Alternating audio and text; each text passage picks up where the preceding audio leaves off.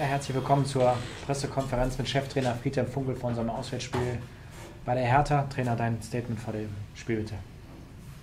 Ja, die Berliner haben äh, am Sonntag äh, eindrucksvoll äh, in Köln mit 4 zu 0 gewonnen. wenn sie auch äh, den kleinen Vorteil hatten, äh, die komplette zweite Halbzeit äh, mit einem Mal mehr zu spielen, das haben sie fantastisch ausgenutzt.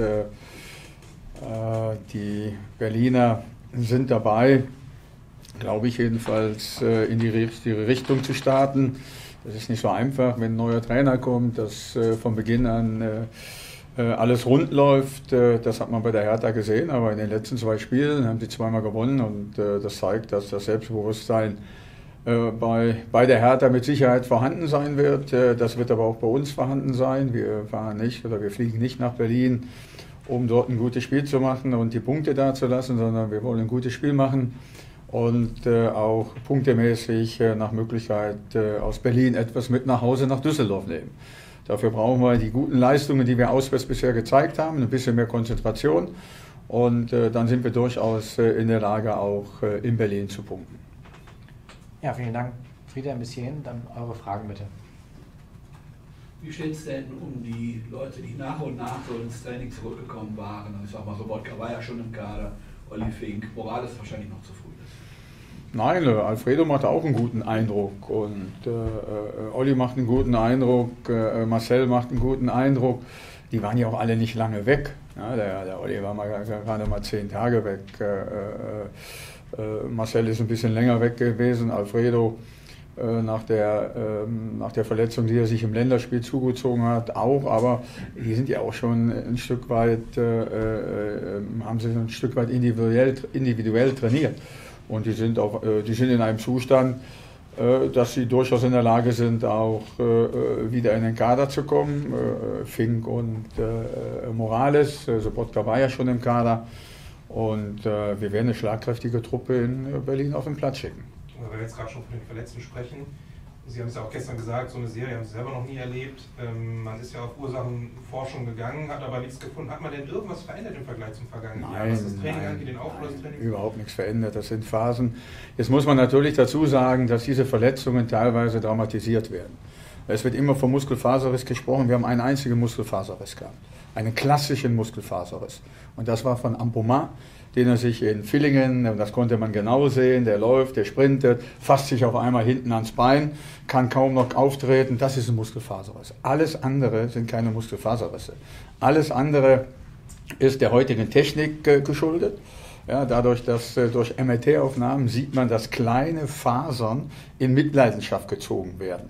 Aber wenn man Muskelfaserriss hat, kann man nicht nach acht oder zehn oder zwölf Tagen wieder ins Training einsteigen. Zu Ihrer Zeit war das nur eine Zerrung? Ganz genau. Ganz genau. Zur damaligen Zeit war das eine Zerrung oder eine Muskelverhärtung oder sonst irgendwas. Trotzdem ist es natürlich zu viel, überhaupt keine Frage. Aber es ist nicht so schlimm, wie es gemacht wird. Und wir überprüfen uns alle, das Trainerteam, ich, äh, Physios, äh, äh, Athletiktrainer. Äh, das ist im Moment äh, eine Momentaufnahme bei uns. Ja? Die, die, ich habe es vorher auch noch nie in der, in der Häufigkeit gehabt.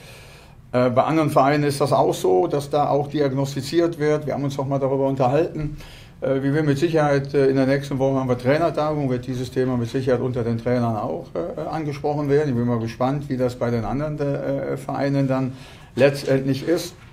Dann gibt es diese Phasen, wir haben sie hier bisher noch nicht gehabt in den dreieinhalb Jahren, wo ich da bin.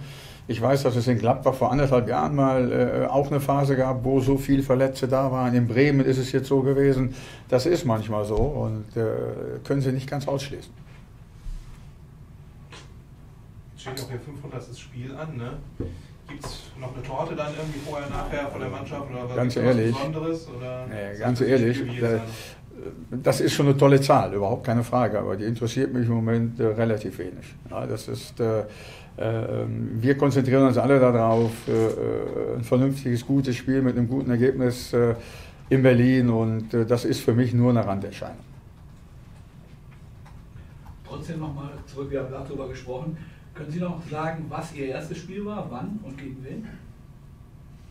Ja, mein erstes Bundesligaspiel als Trainer jetzt, ne? Als Trainer war gegen Hertha BSC Berlin. Gegen Hertha BSC Berlin, ja genau.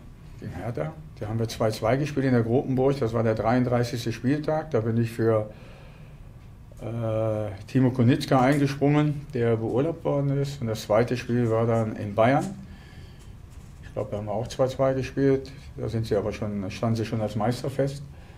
Also das waren meine ersten beiden Spiele als äh, überhaupt als Trainer und dann auch äh, als Erstligatrainer. Im bezahlten Fußball als Trainer. Jetzt, jetzt so zurückblickend, was war das für ein Gefühl, zum ersten Mal an der Seitenlinie bei einem Bundesligaspiel zu stehen? Ja, zu dem Zeitpunkt äh, wusste ich natürlich nicht, ob ich äh, dann auch das erste Spiel in der neuen Saison als äh, Cheftrainer machen will. Ich war Co-Trainer, bin eingesprungen und äh, da ist einem schon sehr viel durch den Kopf gegangen. Ne? Man war nervös, man war, man war vielleicht auch noch ein bisschen hektisch. Äh, äh, vielleicht habe ich das auf die Mannschaft übertragen, weil wir haben zwölf Meter verschossen. Ja, Holger Fach einer, mein Bruder hat einen verschossen, darum haben wir nur 2-2 gespielt, ich weiß es nicht.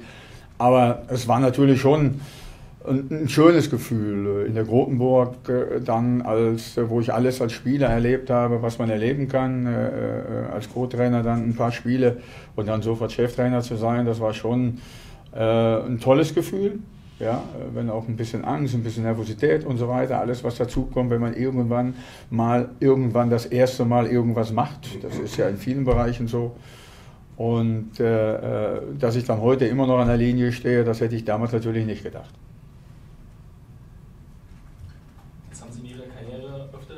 Situation gehabt, äh, dass eine Mannschaft, eine ihrer Mannschaften gute Leistungen abruft und sich dafür vielleicht nicht genügend belohnt. Was machen Sie denn anders jetzt, vielleicht als Sie es früher gemacht haben in solchen Phasen? Ich, ich gehe vielleicht mit der Situation ähm, ruhiger, gelassener, erfahrener um, äh, weil ich weiß, dass äh, all das, was äh, ähm, in dieser Saison auf uns zukommt, äh, völlig normal ist. Ja, ich mache mich nicht mehr verrückt, ich äh, werde nicht mehr hektisch. Ich weiß, dass wir Phasen haben werden, wo es sehr kritisch werden kann. Ja, ich weiß aber auch, dass wir aus diesen Phasen herauskommen können, wenn wir weiterhin, äh, äh, äh so weit sind wir noch nicht, ich habe ja eben gesagt, wir sind selbstbewusst und wir haben überhaupt äh, keine Veranlassung, irgendwas anderes zu glauben oder so. Ja, aber ähm, ich weiß, dass die Situationen auch noch äh, anders werden können. Ich hoffe, dass wir es äh, schaffen, punktemäßig äh, äh, in den nächsten Spielen auch wieder so zu punkten, dass wir da, wo wir jetzt stehen, in etwa bleiben werden. Ja, äh, es kann aber auch mal sein, dass du, dass du 16., 17., 18. bist. Das ist alles im Laufe einer Saison möglich, gerade für uns, gerade für die Fortuna aus Düsseldorf. Und das muss man wissen. Und äh, da darf äh, man nicht zurückdenken an das letzte Jahr. Das wäre der erste Fehler. Äh, das machen einige schon, das merkst du. Ja, aber letztes Jahr, dann letztes Jahr ist vorbei, das spielt überhaupt keine Rolle mehr. Wir haben dieses Jahr 34 mega, Spiele, äh, mega schwere Spiele vor uns. Wir haben Situationen vor der Brust, wo wir wieder davon überzeugt sein müssen, dass wir das gemeinschaftlich hinkriegen. Und da bin ich eben anders als früher, da habe ich viel hinterfragt und, und äh, war äh, dann auch damals noch äh, vielleicht ein Stück weit nervöser, wusste nicht genau, wie die jeweiligen Situationen, äh, was daraus entsteht, äh, was passiert da, was passiert da, was passiert da. Heute weiß ich das, kann mich im Vorfeld im Grunde schon auf gewisse Dinge vorbereiten, das konnte ich früher nicht. Und deswegen bin ich ja auch in allen Gesprächen, in allen, was weiß ich, wo auch immer, ob hier, ob vor der Kamera oder was, sehr, sehr gelassen und äh, ohne irgend, irgendeine Situation zu verharmlosen. Das mache ich mit Sicherheit nicht. Also ich weiß genau, was, wann, wo, wie passieren kann. Und ich glaube, dass das ein großer Vorteil äh, äh nicht nur für mich, sondern für den gesamten Verein ist. Würden Sie denn sagen, dass Sie jetzt der beste Friedhelm Funkel aller Zeiten sind? Also die beste Phase Ihrer Karriere haben, weil Sie dieses Wissen haben, was vielleicht früher nicht so da war? Ja, ob es jetzt der beste ist, äh, ist auf jeden Fall ein guter Friedhelm Funkel. Das auf jeden Fall. Ja, und äh, ich habe auch früher Phasen gehabt, wo es gut lief, wo es nicht gut lief, wo das war, wo das war. Das hat man, wenn man, wenn man äh, 500 Erstligaspiele ist, dabei bleibt es ja nicht. Ich habe ja auch 400 Zweitligaspiele. Ja, oder, oder rund 400 Zweitligaspiele. Das, da kommen sie auf 900 Spiele als Trainer. Also wenn sie dann noch nicht wissen, was sie machen sollen, äh, ja, dann wären sie nicht so lange Trainer geblieben, ist auch ganz klar. Ja, also äh, ich weiß schon genau, was ich mache und, und äh, wie ich einzelne Situationen angehe, ob das hier in der Mannschaft oder was weiß ich, wo auch immer ist. Und ich glaube, dass das äh, sehr wichtig war für die letzten dreieinhalb Jahre, die ich hier bei der Fortuna bin. Sie wirken aber auch so ein bisschen lockerer nach außen, wenn man das noch vor 10, 15 Jahren vergleicht. So das ist richtig. Ruhiger, lockerer. Ja, das ist richtig. Ja, ich ich habe ja, hab ja, ja, so verbissen, wie ich vor der Kamera dann am Spielfeldrand aussehe, bin ich natürlich nicht. Aber das ist wieder eine andere Situation. Ja. Das, da bist du angespannt, da musst du reagieren, dann guckst du, was das eine oder andere äh, vielleicht passieren kann oder so. Aber auch da bin ich anders geworden als früher. Auch das muss ich, äh, das stimmt. Das stimmt. Wenn Sie genau wissen, was Sie machen, was machen Sie denn momentan mit Ihrer Mannschaft? Ja, der, ich äh, ändere nichts äh, äh, an meinem Verhalten, ich ändere nichts äh, an, an, den Trainingsabläufen, weil ich weiß, dass das, dass das richtig ist. Es wird immer wieder punktuelle Veränderungen innerhalb der Mannschaft geben, um auch Reizpunkte zu setzen. Ja, äh, kann auch der eine oder andere mal aus der Mannschaft kommen, obwohl er gut gespielt hat. Aber das wisst ihr ja, das mache ich seit dreieinhalb Jahren. Das mache ich jetzt auch weiterhin. Und äh, einfach Ruhe ausstrahlen und äh, die Mannschaft äh, ähm, auf gewisse Situationen vor, vorzubereiten. Das habe ich schon vor der Saison gemacht, das habe ich auch im letzten Jahr gemacht. Und das mache ich jetzt auch, äh, weil ich weiß, äh, was alles passieren wird. Jetzt ist in den, bei den Ausfällen ausgerechnet gehäuft Leute dabei, Außenspieler, die auch Defensivqualitäten haben. Denken wir jetzt an den John Zimmer einerseits, den Markus Suttner oder auch Kovnatski, der ja auch gut nach hinten gearbeitet hat zuletzt. Hat das irgendwie Einfluss auf die Gesamttaktik, dass Sie dann versuchen, weil Sie jetzt ja nur noch Offensivleute außen haben, da ein bisschen mehr Sicherungen an anderer Stelle? Nö, wir haben ja, wir haben ja äh, auf jeder Seite noch äh, zwei gute Defensivspieler. Ja, also ich, ich habe aber auch schon einige Male mit vier Defensivspielern auf, der, auf, der, auf den Seiten gespielt und wir haben es trotzdem gut nach vorne gemacht. Jetzt äh, kann man davon ausgehen, dass äh, das eine oder andere äh, natürlich grundsätzlich ein bisschen kompakter stehen wird. Das ist durchaus möglich. Ich muss mir nur überlegen, wem ich es zutraue, von Anfang an in Berlin zu spielen. Von denen, die in den letzten Wochen nicht von Anfang an gespielt haben, da weiß ich es noch nicht ganz genau. Und dann werden wir sehen, wie wir es in, in Berlin machen. Der Nico Gieselmann ist ja ein bisschen in die Kritik geraten durch Defensivfehler, wie auch immer. Auch im Netz liest man da viel. Äh, A, wie geht er da selber mit um und B, wie gehen Sie mit ihm um? Haben Sie da jetzt auch die Woche mehr mit ihm gesprochen als sonst und gesagt, immer, äh, mach einfach so weiter, versuch aber irgendwie. Bei Nico, bei Nico, bei Nico. Ja, ja. ja, alles, was im Netz steht, äh, dürfen Sie nicht so ernst nehmen. Mhm. Ja, das ist einfach so, das ist in der heutigen Zeit so. Nochmals, ich gucke da, habe da noch nicht einmal in meinem Leben reingeguckt. Ja, aber ja. der Nico. Und, äh, das mache ich nicht, äh, weil dort ist viel Emotionales und nicht Durchdachtes und äh, äh, ja, man, man, man, man macht für die, man ist Fan von der Fortuna oftmals natürlich und man will immer das Beste und dann schießt man schon mal übers Ziel heraus, aber das muss man wissen. Das muss man wissen. Und äh, äh wie gesagt, ich habe mit Nico darüber gesprochen, dass er nach wie vor mein Vertrauen hat. Ja, das habe ich habe ich nach dem Gladbach-Spiel gemacht. Also äh, schon vor einiger Zeit, weil ich weiß, dass der Nico ein sehr zuverlässiger Spieler für unsere Mannschaft ist, äh, dass er Leidenschaft zeigt, äh, dass er in ein paar Situationen unglücklich aussieht, überhaupt keine Frage. Ja, das muss er wieder versuchen abzustellen. Irgendwo habe ich gelesen, ich habe das gestern irgendwo gesagt, dass er für das Tor verantwortlich gemacht wird für den Ausgleich äh, äh, hier von, von, von Freiburg. Er ist der letzte Spieler in der Kette, der das hätte möglicherweise verhindern können. Der Fehler war irgendwo anders. Das Tor kann man ihm überhaupt nicht ankreiden. Überhaupt nicht. Dass das andere natürlich anders sehen, da soll er sich nicht drüber äh, äh, aufregen und sich einen Kopf drüber machen. Wichtig ist, was das Trainerteam ihm sagt, wie er sich zu verhalten hat, was er zu machen hat. Und das macht er und äh, deswegen. haben Sie jetzt auch nicht selbst verunsichert. Bitte? Sie haben nicht das Gefühl, dass Sie das selbst jetzt irgendwie auch verunsichern oder so? Nein, nein, überhaupt nicht. Er, er, er spürt die hundertprozentige Rücken, Rückendeckung vom Team, vom Trainerteam und äh, das allein ist entscheidend. Muss nochmal auf die Außen zurück, äh, weil Sie sagten, Sie hätten ja auch noch Leute im Außen mit Defensivqualitäten. Da fallen mir jetzt Pledel und Contento ein. Wäre Contento schon so weit jetzt, nach einer langen Pause? Nein, er ist noch nicht so weit, äh, von Anfang an zu spielen. Er ist äh, für das Momentum, für den Augenblick, für eine gewisse Situation mit Sicherheit in der Lage, uns äh, kurzfristig in einem Spiel vielleicht zu helfen. Aber äh, insgesamt äh, fehlt da noch einiges, das habe ich ihm auch äh, ist jetzt vielleicht zwei Wochen her, habe ich mit ihm ein Gespräch gehabt, habe ihm das dann auch nochmal so gesagt. Er, er ist ein Musterprofi, ein Musterprofi.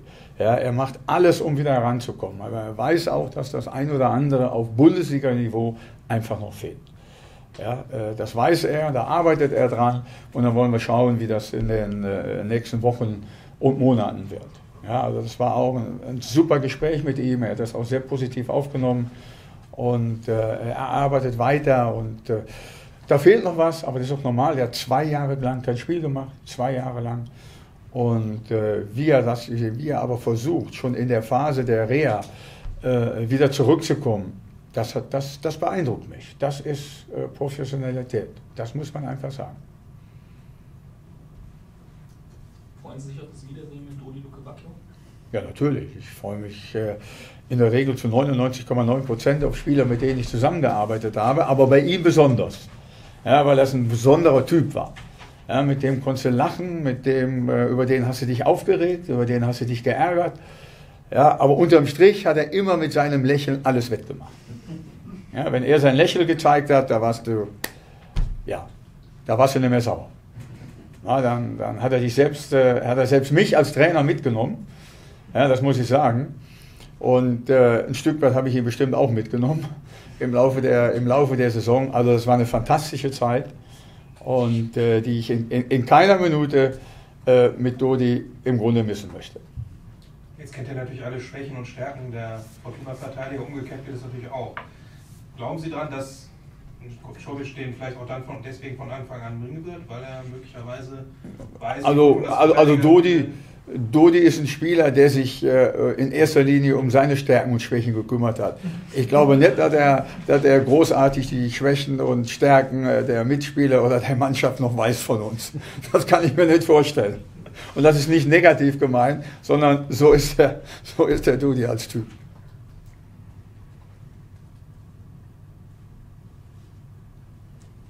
Wenn Sie denn auf der anderen Seite ein bisschen auf Geschwindigkeit setzen. Man hat ja gesehen, Ampoma und Tekbetai kamen rein, waren beide sehr engagiert, auch wirken selbstbewusst. Wären die jetzt mal eine Alternative? Ja, der Blick, der Blick des Journalisten und der Blick des Trainers äh, ist immer äh, sehr, sehr häufig ein Stück weit äh, unterschiedlich, weil ich, äh, ich behaupte jetzt einfach, dass ich noch tiefer als ihr in einen Spieler hineinblicken kann und, und Bewegungsabläufe und sowas äh, alles, äh, weil ich das ja schon 900 Mal gemacht habe. Äh, der eine oder andere hat mit Sicherheit auch schon, schon vielleicht 1000 Spiele oder was, das kann auch sein. Das weiß ich jetzt nicht. Ne? Aber äh, es ist schon richtig, dass wir Geschwindigkeit brauchen und wir werden auch Geschwindigkeit auf dem Platz haben. Können Sie trotzdem so ein bisschen äh, Einblick geben in dieses taktische die, die taktischen Überlegungen, die Sie haben gegen Hertha? Was müssen wir besonders beachten? Die haben ja auch eine schnelle Außenbeschiede. Ja, wir müssen kompakt stehen. Es ist eine Mannschaft, die auch Tempo hat. Ja, die hat sehr viel Tempo äh, äh, in vorderster Front, aber auch aus der zweiten Reihe mit Klünter und so weiter, äh, die, die äh, sehr, sehr viel Tempo haben. Da dürfen wir nicht allzu viele Räume äh, äh, dem Gegner geben. Das ist ja auch ganz klar. Trotzdem werden wir uns natürlich nicht hinten einigeln und äh, werden schauen, äh, dass wir die richtige Mischung finden aus, aus Kompaktheit, aber dann auch aus äh, äh, Situationen, wo wir auch, wie wir das immer machen, ja, auch vorne schon mal zustellen, auch vorne den Gegner attackieren oder auch mal auf Konter setzen oder Umschaltspiel. Das werden wir machen, das werden wir versuchen. Und äh, äh, der Ante wird sich seine Gedanken auch darüber machen, wie das möglicherweise vonstatten geht. Und äh, da kann er sich noch ein paar Gedanken machen. Vielleicht hat er heute Hilfestellung bekommen, weiß ich nicht so genau. Ja, aber wir haben heute jemanden äh, irgendwo in den Bäumen gesehen und äh, als wir dann dorthin gegangen sind, hat sich einer sehr schnell äh, auf, den, auf die Flucht begeben. Ja? Also der muss schon akrobatische Züge gehabt haben, um da überhaupt rüberzukommen über einen gewissen Zaun. Aber jetzt wissen wir, wo die Schwachstelle ist und die werden wir jetzt natürlich auch beobachten.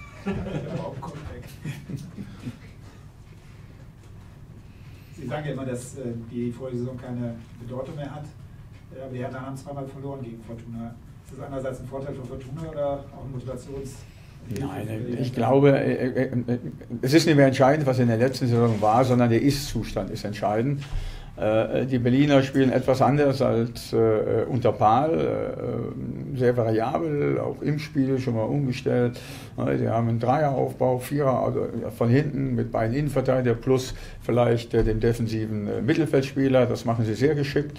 Ja, äh, das machen sie aber nicht während dem ganzen Spiel. Dann, dann, dann haben sie sehr offensive Außen, Außenspieler, ja, gehen auch vorne schon mal drauf, ziehen sich aber auch schon mal zurück, um selber äh, die Räume zu haben, die sie für ihr Spiel brauchen. Also es ist auch eine Mannschaft, die variabel spielt. Und äh, äh ja, es wird mit Sicherheit ein interessantes Spiel.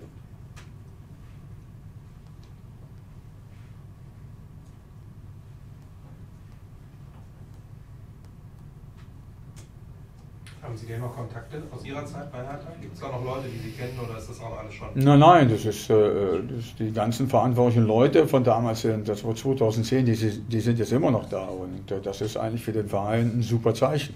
Ja, ob das Michael Preetz ist, äh, mit dem wir ab, oder mit dem ich ab und zu mal telefoniere, äh äh, ob das äh, Werner Gegenbauer als Präsident ist, äh, den ich sehr schätze, der, ich weiß gar nicht, wie lange der jetzt schon Präsident ist, ich war da, da war er auch schon da, der ist bestimmt schon über zehn Jahre dort. Das spricht für sehr viel Kontinuität. Auf der Geschäftsstelle sind, sind noch die gleichen Leute, Ingo Schiller, ich glaube, der ist Schatzmeister oder, oder, oder so, das weiß ich nicht mehr genau. Aber er ist auch schon sehr lange da. Im, im, im Trainerstab sind noch ein, zwei Leute. Äh, die damals da waren. Äh, äh, der Doktor ist noch der gleiche, der da war. Ja, also die Zeugwarte sind noch die gleichen, die da waren. Also dort ist sehr, sehr viel Kontinuität und das wird der Hertha natürlich auch in den nächsten Wochen und Monaten und Jahren mit Sicherheit helfen. Jetzt ist auch noch viel, viel Geld da. Ja, wenn sie das auch noch richtig anpacken, dann ist es durchaus möglich, dass Hertha in den nächsten Jahren unter die ersten sieben Mannschaften in der Tabelle kommen kann. Ich will das jetzt nicht zu hoch ansetzen, aber sagen wir die ersten sieben. Ich will ja nicht zu viel Druck aufbauen, Micha. Wie blicken Sie da auf Ihre Zeit zurück? Es war ja ein relativ kurzes Engagement. Ja, es war eine tolle Zeit. Ja, es war eine tolle Zeit. Ich war gern, äh, ich war gern bei Hertha BC, obwohl äh, wir es sehr, sehr schwer gehabt haben, obwohl wir äh, immer 18. gewesen sind. Wir sind immer rangekommen, wenn wir auswärts gewonnen haben. Wir haben fünf oder sechs Spiele auswärts gewonnen von acht oder neun. Und da haben wir zu Hause kein Spiel gewonnen. Und sind ja am vorletzten Spieltag, als wir in Leverkusen vor, äh, unentschieden gespielt haben, abgestiegen. Und trotzdem habe ich immer die Rückendeckung dieser Leute gespürt. Und darum sind sie auch schon so lange da. Das sind, das sind, die haben mich immer mit Respekt behandelt, ja, die handelnden Personen. Und äh, dafür habe ich mich schon einige Male bedankt. Aber was da Werner Gegenbauer und vor allen Dingen Michael Breetz äh, äh, geleistet haben, mir da immer zur Seite zu stehen, das werde ich nie in meinem Leben vergessen. Ja, und deswegen freue ich mich immer wieder, diese beiden Leute zu sehen. Sie haben einige Erinnerungen ans Olympiastadion, logischerweise. Was ist Ihre liebste Erinnerung? Mhm. Was ist die erste, die Ihnen kommt, wenn Sie ans Olympiastadion Ja, ich habe einige gehabt, auch schon vor 85. Ja, also auch schon vor 85, in den 70er Jahren haben wir da mal gegen Blau-Weiß Berlin gespielt, äh, mit, mit, mit Uerdingen in dem Aufstiegsjahr, ich glaube, das war 77 oder 8 haben wir 4 oder 5-0 gewonnen. Aber das äh, vor 1200 Zuschauern im Olympiastadion, also da haben sie nicht viel gesehen, das war noch abends, die hat man dann in der Dunkelheit gar nicht gesehen, auch wenn Flutlicht an war. Ja, und die angenehmste Erinnerung ist natürlich klar, 85, äh, erste DFB-Pokalspiel als Spieler gegen Bayern, Pokalsieger geworden. Das war natürlich das Schönste, was ich je äh, im Berliner Olympiastadion erlebt habe. Und in Duisburg das Pokalfinale? Das war auch toll, aber wir haben es leider nicht gewonnen, deswegen war es nicht ganz so schön. Ja, mit Frankfurt war ja auch im Pokalfinale, auch in Berlin und alle drei gegen Bayern. Ich hätte mal ein leichterer Gegner sein können. Er ist vielleicht zweimal gewonnen. Also ist es bei einem Mal als Spieler geblieben, zweimal. Das sind immer schöne Momente gewesen. Äh, äh, äh die Pokalendspiele in Berlin, das ist, das, äh, aus meiner Sicht die beste Entscheidung gewesen, die der DFB je getroffen hat, ja, das Berliner Olympiastadion zum Wembley in Deutschland zu machen. Ja, und das ist, äh, das ist ein Event, das ist ein Festtag in Berlin. Ja, dazu die tolle Stadt, das tolle Stadion. Super. Ja, das ist mein letzter Wunsch als Trainer, da nochmal hinzukommen. So.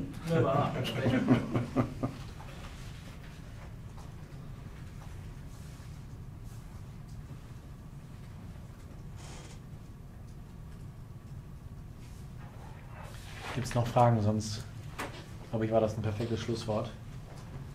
Dann bedanke ich mich fürs Kommen. Achso, uns begleiten zweieinhalbtausend Fortuna ungefähr nach Berlin.